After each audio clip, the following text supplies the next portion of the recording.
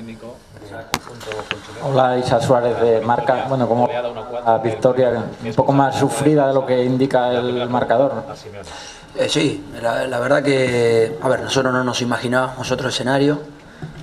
Históricamente siempre nos costó este estadio, de los últimos, creo que ocho años, si no me equivoco, la segunda victoria que, te, que el club puede concretar. Eh, arrancó el partido eh, disputado, con situaciones en, los dos, en las dos porterías.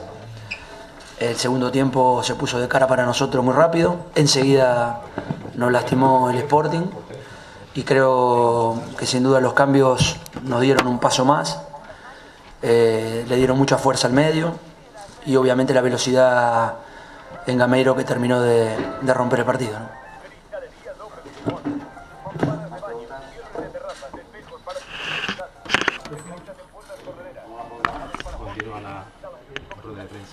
Muy buenas.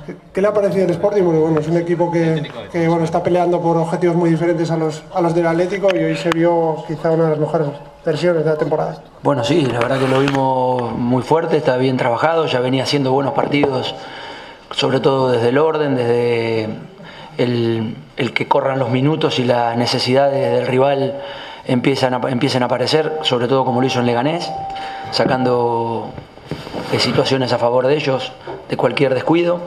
Y bueno, repito una vez más, el partido estuvo igualado en el primer tiempo, el primer pasaje del segundo tiempo nuevamente con los goles, pero yo creo que después en los, los, finales, los últimos 15, 20 minutos, 15 minutos, cuando, cuando ya entró Tomás en el medio, terminó el equipo de, de tener fortaleza y se veía que en, que en cada situación de ataque podía lastimar.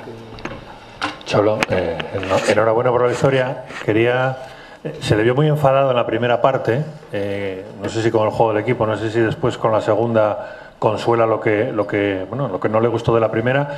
Y por otra parte quería preguntarle si la marcha de Traoré del partido alivia un poco al Atlético y da ese pasito adelante cuando ya no está él, porque parece que coincidió en el tiempo.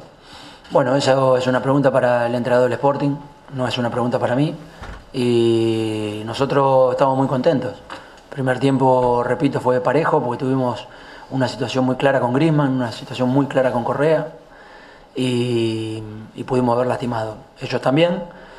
Nos vamos contentos, sobre todo porque una vez más en el final del partido, como el otro día con el Celta, el equipo tuvo la calma y la tranquilidad para, para lastimar jugando.